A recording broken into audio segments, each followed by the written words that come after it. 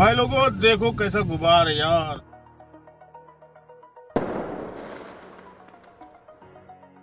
इतना पूरा तूफ़ान मतलब धूल का तूफ़ान। उधर हवा, इधर हवा के साथ साथ उधर भी तूफ़ान आते हैं, लेकिन मतलब यहाँ की कुछ रेत जो है ना मतलब बहुत ही ज़्यादा मतलब बारीक है, इस तरीके की बारीक है कि मैं बता नहीं सकता कि छा जाती है। जैसे बादल नहीं छा जाते हैं, वैसी धूल देखो पूरे आसमान में छा जाती है मतलब धूप जो है, धरती पे नीचे अर्थ पे नहीं पड़ती, इतनी मतलब महीन बारीक ये देखो, रेत है ये, देख लो। देख लो। मतलब पूरा बिल्कुल रेते ही रेत, बिल्कुल। अभी तुम मुश्किल से 20 मिनट बाहर अगर खड़े हो जाओ, तुम्हारे बाल सफ़ेद हो जाएँगे, हंड्रेड परसेंट। इतनी रेत है। इस कदर इतनी रेत है ये। देखो इतना रेत है, बाप रे बाप। रोड पे, हाईवे पे गाड़ियाँ स्लो हो गई हैं मतलब इतनी इस कदर रेत है कि जो ये हाईवे है, इधर गाड़ियाँ स्लो हो गई, नहीं तो 120 150 से नीचे चलती नहीं है ये जो हाईवे देख रहे हो आप। 120 130 से नीचे गाड़ियाँ इसमें चलती नहीं है। अभी 100 से ऊपर को नहीं बढ़ रही है कोई।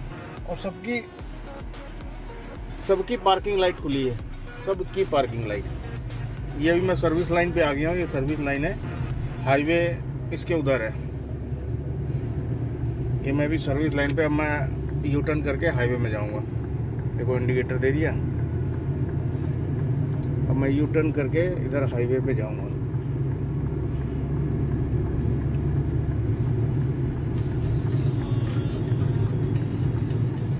अभी आगे सिग्नल है तो नीचे अभी एक चीज़ बताऊँ आपको देखो आगे वाली गाड़ी देखो फ्लैश इंडिकेटर चारों ऑन करके जा रही है।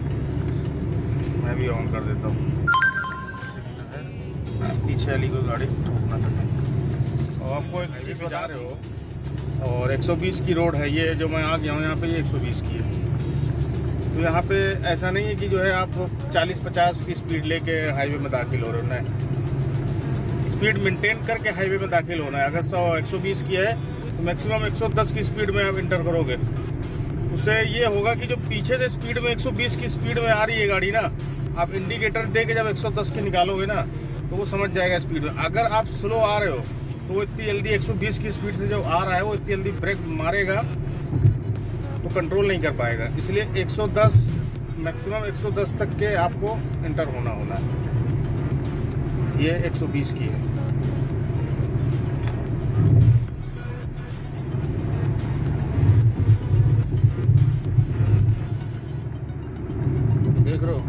हालत है रोडों की। सबकी लाइटें खुली हैं।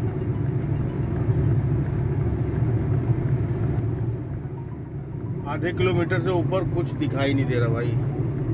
ये पुल के ऊपर से मैं आ गया हूँ, वहाँ से दिखा रहा हूँ आप लोगों को। देख रहा हूँ।